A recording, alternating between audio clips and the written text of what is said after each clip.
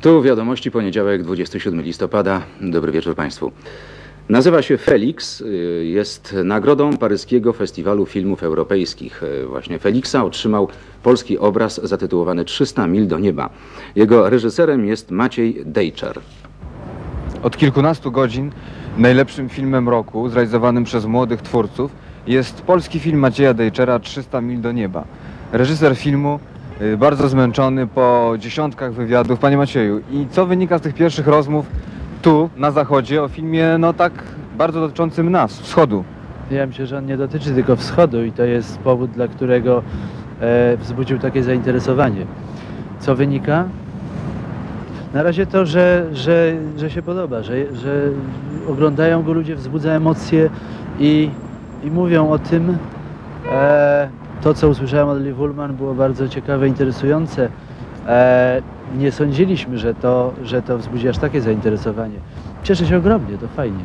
Ten film ma już znakomitą ocenę krytyki. Jak pan myśli, czy jest szansa, żeby także spotkał się z przyjęciem publiczności, żeby po prostu był pokazywany w kinach? Tutaj nie wiem. Sam jestem bardzo ciekaw. Wiem, że e, to bardzo trudno znaleźć w ogóle dystrybutora. E, Nam się udało znaleźć. Zobaczymy, co z tego wyniknie. Czekam z niecierpliwością. To może być niespodzianka i na tak, i na nie. Tu zupełnie nie wiadomo. Wiem na pewno, że filmy z Europy Wschodniej e, mają duże kłopoty z e, dystrybucją, e, tutaj z widzami, z ilością widzów. E, Natomiast myślę, że będzie dobrze.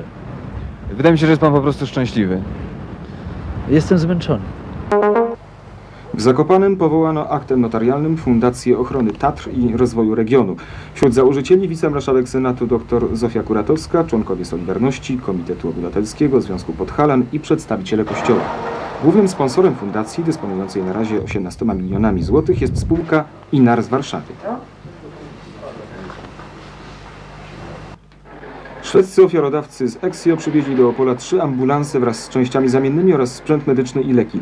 W ubiegłym roku zagraniczna pomoc dla Opolskiej Służby Zdrowia przekroczyła 35 milionów złotych. Szwedzi pomagają także Szczecinowi i Zielonej Górze.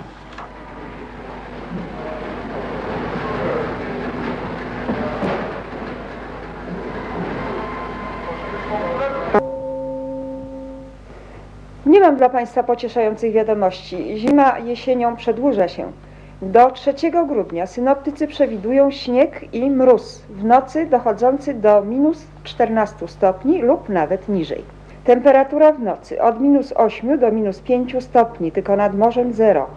W dzień od minus 7 do minus 4, a nad morzem plus 1. A mówiłem, że zima skończy się w listopadzie.